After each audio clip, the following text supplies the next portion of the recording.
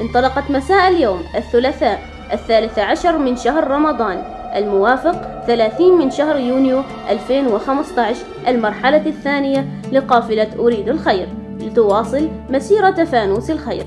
وقد كانت محطتها الأولى جمعية المرأة العمانية بولاية قريات.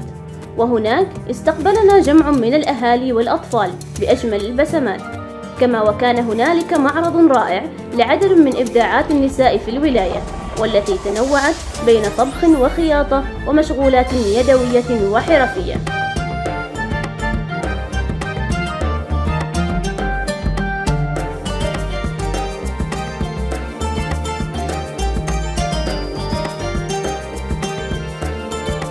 وهناك قمنا بتقديم الدعم للجمعية آملين أن يكون سببا للرقي بأداء الجمعية للمزيد من العطاء.